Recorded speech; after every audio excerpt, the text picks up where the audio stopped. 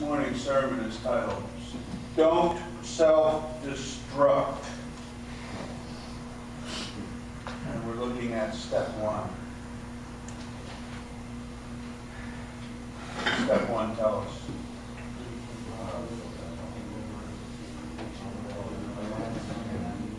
Huh? Anybody want to recite it? We are powerless over our addiction. Our lives have become a myth. Mm. We recognize, right? we come to our senses, I guess, and we recognize that our lives are unmanageable. And I always laugh about that word, like that word, unmanageable, because it was a lot more than just being unmanageable. I mean, we're crazy. We're like madmen. But we are unmanageable to the extent that we're not able to manage ourselves back into normalcy, let's say. So that's what we want to look at this morning, right? Step one, right? We admit. We admit that we are powerless. We are not in a position where we ourselves, in our own understanding and in our own strength, we are not able to get ourselves well. Or you wouldn't be here if you were. I mean, we try, right? Anybody else try? You know, and, and we really wanted to stop being that person. We really wanted to be better, but we weren't able to do it on our own. So we have to admit that we're just powerless over our addiction. There's a lot to that. So that's what we're going to look at this morning. So let's pray. Dear Heavenly Father, Lord, I thank you for being here with us. Father, help me this morning. You know I'm sick, and we're all sick. Many of us here in the chapel this morning are sick physically from uh, cold. We have a cold. Sometimes that makes our brains a little foggy. Clear my mind, Lord. Clear my mind so that you might speak to me. Help me, Lord. Speak through me the words that you would have us to know. There's a whole lot of scripture here that we're looking at, but it's a simple message. One that we should know. But it's hard, Father because you're going to tell us about stop doing, we're, we're going to be told to stop doing things that we might like, but they're harmful. So help us, Lord, this morning to make real decisions. In Jesus' name we pray. Amen. Amen. Okay, so we're right? If we, if we don't admit our powerlessness, then we really can't even get started. You know, if we say that we're really only here because, you know, the, the legal system tells us we have to do a program, or we're only really here so that our wives will, or our girlfriends will let us back in the house, or our parents, or whatever that might be. You haven't even gotten here yet. You haven't even admitted yet that you are powerless over the things that caused you to need this place.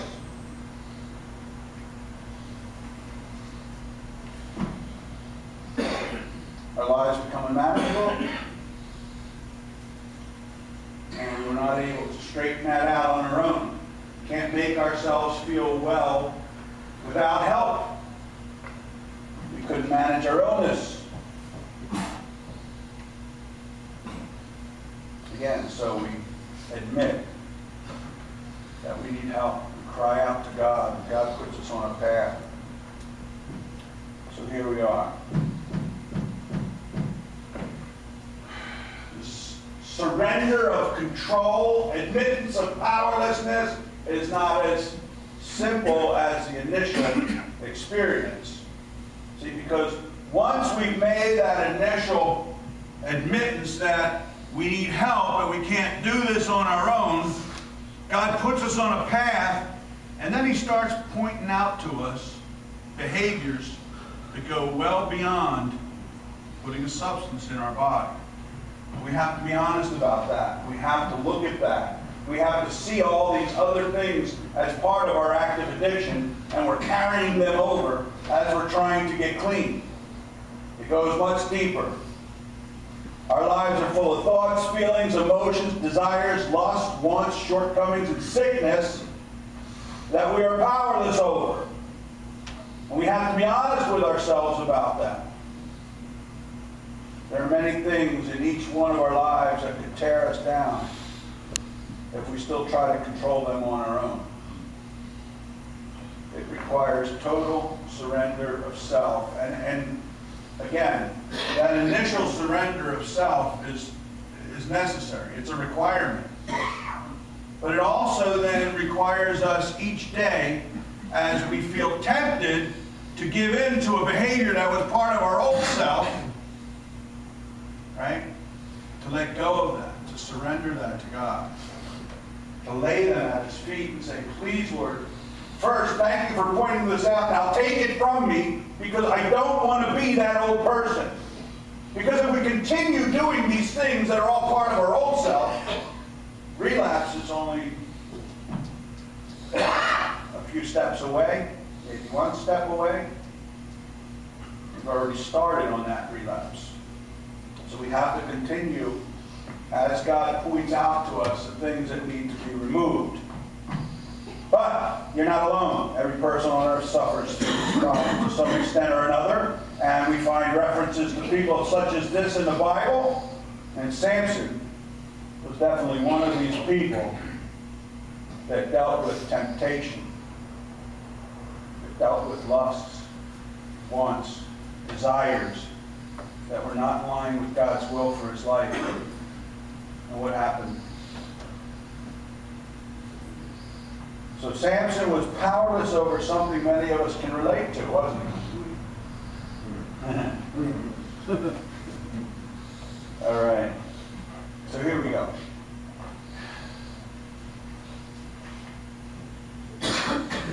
Samson and Delilah. Let's see, what's, what, what page is this little thing about Samson and Delilah? Here it is. In your Life Recovery Bibles.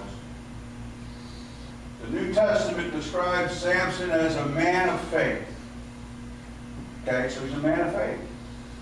It mentions neither his, his failures or his great, nor his great strength.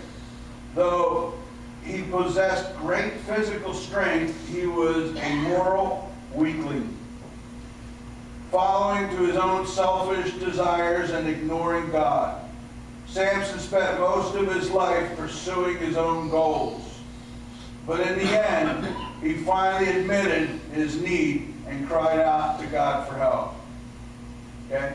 So he was a strong man. And we see that in his life, right? The whole story is about his strength and where he got his strength from. But yet it says that he was a moral weakling. So he was lacking in something. Right? His desires for things that were other than that which God would have for him is what took him down. It's what takes us down when we give in to those lusts. It seems that after the first three episodes of betrayal, Samson would have known not to trust Delilah. But like many of us, Samson thought that giving in to manipulation was an expression of love. He chose to please Delilah and get what he wanted from her rather than obey God and deliver his people. Delilah chose to use her relationship with Samson for her own gain. It was clearly a dysfunctional relationship. Most of us have experienced the pain of being used, and we have undoubtedly used others. We have known the agony of being betrayed. It will do no good to look at Samson and think about what he did, what he did not accomplish. We are often victimized in our own life by thoughts of what might have been. Samson shows us that as long as we have life, we have hope. You hear that? As long as we have life, we have hope. It's never too late turn our life over to God and allow Him to redeem us and restore what, he has, what we have been lost. In spite of his failures, Samson was li- is listed as a champion of faith in Hebrews 11. Right? Can we hear that in our call worship? A little bit of it. In spite of our failures, we too can be champions of faith as God continues to work out recovery in our life. So there's the whole story, right? In order to succeed, Samson had to surrender himself to God.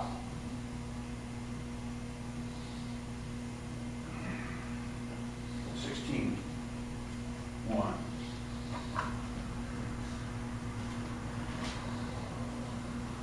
One day Samson went to Philistine town of Gaza. He spent the night with a prostitute. Word soon spread that Samson was there. So the men of Gaza gathered together and waited all night at the town gates. They kept quiet during the night, saying to themselves, When the light of morning comes, we will kill him. But Samson stayed in bed on- only until midnight. Then he got up, took hold of the doors of, of the town gate, including two posts, and lifted them up, bar and all. He put them on his shoulders and carried them all the way to the top of the hill across from Hebron. All right, so what do we get out of that? Down sleeping around, he gets a prostitute. Four and five. So Delilah's, oh wait, where am I at? Sometime later, Samson fell in love with a woman named Delilah, who lived in a village of Sorek. The rulers of the Philistines went to her and said, Entice Samson to tell you what makes him so strong and how he can overpower and tie, tie him up securely. Then each of us will give you a thousand, oh, eleven hundred pieces of silver. So Delilah says Sam, please tell me. Please tell me. Okay. So here we got a guy that has an issue with women. Okay? So he wants what he wants. So he's going to he's going to do what he has to do to get what he wants. Even, right, and we're going to read into this, even knowing that this woman is there, That she's out to get him. So this whole dysfunctional relationship, really all they're doing, it's two people in a relationship to get what they want. You ever been in a relationship like that? Some of you might be. And we tell ourselves, well, I don't care if she's using me, I'm using her. Is that fun? Is, is that, right? It's dysfunctional. Is, that something that we can say, well, you know, at least I'm not using it. Is that something we can try to tell ourselves, well, you know, it's okay? Because that's what we tell ourselves, well, at least I'm not using it. Is that something that we can go before God and expect God to bless us in our recovery, knowing that we're doing things that are definitely wrong in His eyes? It's dysfunctional. It's part of our old sickness. But yet you're still living in it. Okay, so he hooks up with Delilah, but she's in a relationship for the wrong reasons, right? It's dysfunctional. The sick part is that he knows she's evil, but he don't seem to care because there's something else he cares about. Can you relate to that?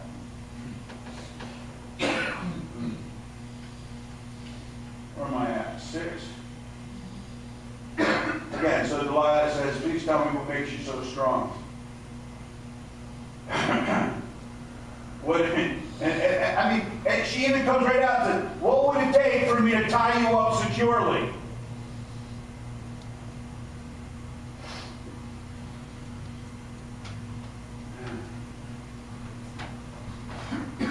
Samson replied, If I were tied up with seven new bowstrings that have not yet been dried, I would become as weak as anyone else.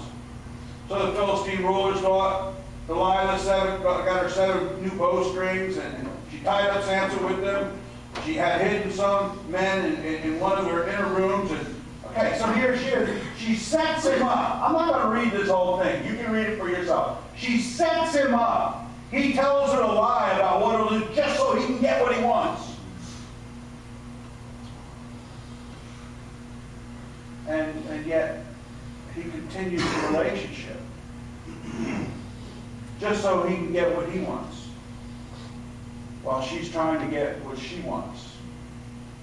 So Delilah continues to nag him over and over and over. And Samson keeps lying to her over and over and over. But she's wearing him out. She's wearing him out. 15.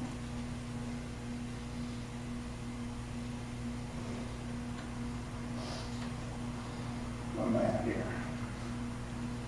Then Delilah pouted after this nagging back and forth. How can you tell me you love me when you don't share your secrets with me? You've made fun of me three times now, and you still haven't told me what makes you strong. Tormented him with her nag. All right, listen. I don't want to think too much about my past, but she tormented him with her nagging day after day until he was sick to death of it. Finally, Samson shared his secret with her. My hair has never been cut, he confessed, for I was, I was dedicated to God as a Nazarite from birth. If my head were shaved, my strength would leave me, and I would become as weak as anyone else. All right, so let's even get away from the women part of this. Let's look at this as temptation of anything that we know is wrong in God's eyes. Let's look at this as uh, bottle of vodka for some, bag of dope for others, a couple caps of crack for some, whatever that might be. Okay, so that's the substance. But how about stuff?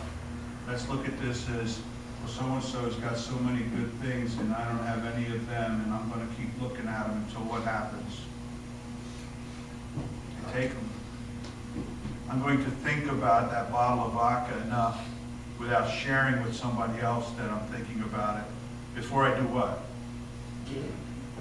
See, temptation nags at us. Temptation nags at us. We know it is wrong. We know it is wrong. Whatever that is that's nagging at us. But we sit there and we argue with it. We try to take on that strength by ourselves, right? That temptation. We try to so we try to handle it with our own strength. And it nags at us until we give into it. That's what we need to look at. Okay? For some it might be women, but it's not for everybody. Okay? It can be anything that nags at us over and over again, and we think about it, and we think about it. It might not be something coming out with words and saying, look, you got to do this for me. Can you go with me? Let's go do this. It could be up here. Over and over and over again. Until we give in. And we say, okay. All right, let's go. I'm going to do this now. All right, so Samson gets tired. He gets worn out. She rats him out. He gets caught. Now he's done for. Samson was powerless over his lust for women. We are powerless, listen, over our thoughts, feelings, emotions, desires, lusts, wants, shortcomings, and sickness if we are trying to handle them on our own. If we are leaning on not only our own understanding but our own strength, They're going to nag at us until we give in to them. Even though we know that they're part of our old self. They're not that what God would have for us. And then we have to ask ourselves, well, why do we why do we let them nag at us? Why do we why do we keep them up here? You know, I was talking about those reservations that we keep back here. Right? Those old feelings, those old thoughts, those old desires, those old lusts. We keep them back here because we're afraid, well, probably this ain't going to work out anyway, so I better keep her number. This ain't going to work out anyway, so, you know, I know if I go back home, I know where to pick up a bag of dope. I know where I can get some money off so-and-so. We keep those back here because we haven't gotten to a point yet where we complete surrender of self. Not only the initial surrender, but the daily surrender. When those things come up here, we need to get rid of them before we put them back here. Reservations. Those old, right? Old thoughts, feelings, emotions, desires, lusts, wants, and shortcomings. We have to get rid of them. When God points them out to us, we need to surrender them to Him. Okay? So Samson told her what she wanted so that he could get what he wanted. This is our old way of thinking. This is how we used to do things. And this is not how we can do things moving forward. We need to be honest. Samson let his desires run his life and killed him. Again, you can read the whole story for yourself. It's in Judges chapter 16.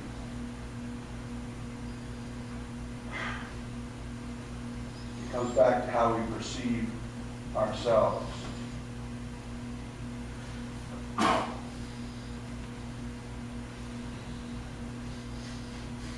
Those old reservations. We admit we are powerless over our problems and that our lives have become unmanageable.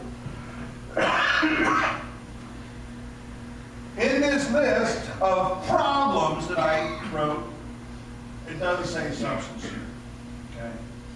Because we already know that part.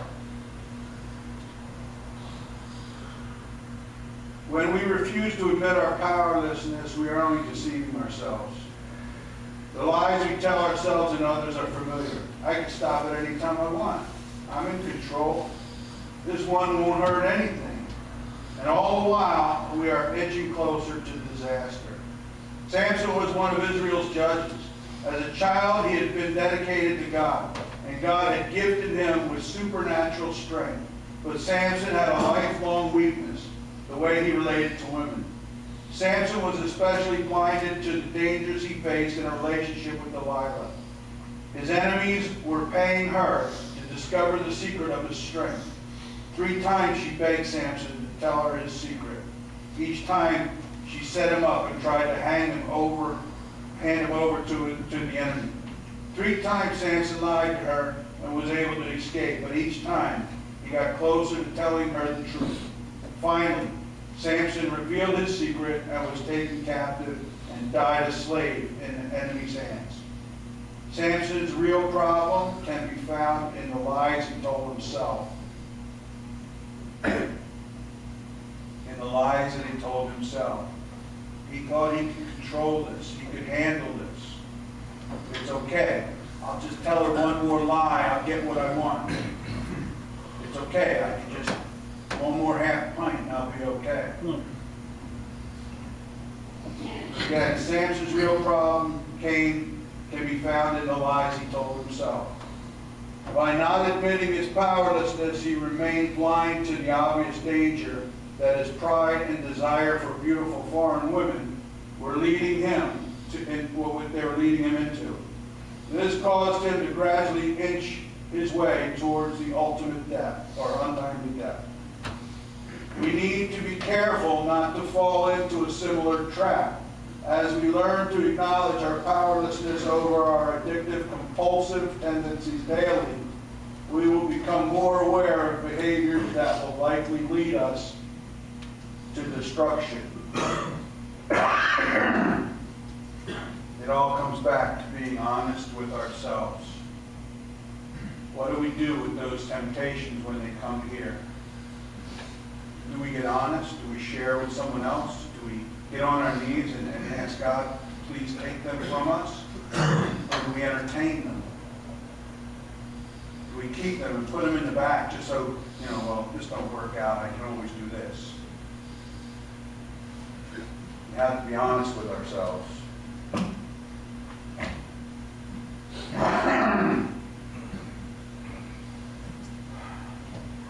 If we can see the destructive desires being destructive, we can steer clear of them. Right? We're powerless. God is powerful. Ask Him to help you to see the things that you are powerless over. And help and ask Him to help you be honest with yourself. Ask Him to help you manage the things that you can control. And ask for the wisdom to know difference. Amen? Amen. Amen. Let's pray. Dear Heavenly Father, Lord, I thank you for this message. There's a lot to it. But the message is clear that we try to manage things on our own. We have yet to really admit then that we are powerless. We are trying to manage them on our own. It's step one. We haven't even started yet until we can be honest with ourselves. Dysfunctional relationships that we think might be fun,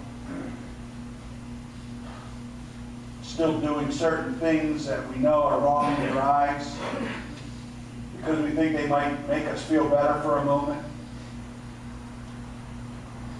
Or having those reservations still in the back of our mind because we failed so many times over and over again, so we, we have backup plans. Help us, Lord, with our faith, believe that as you point out these things to us, Lord, that we can be honest with ourselves recognizing these behaviors, these thought patterns, these desires, these lusts for what they are.